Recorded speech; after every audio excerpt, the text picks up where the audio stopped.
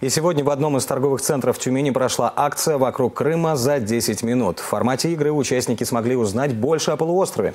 Перед игроками разместили 10 фактов о Крыме. Задача определить, где правда. За участие тюменцы получили пряники, брелоки и открытки. Прикольная викторина. А, Я, если честно, мало знала фактов о Крыме. Вот, ну, молодой человек меня просветил неплохо. Вот. Что вы выиграли? Пряник, открытку на память о Крыме.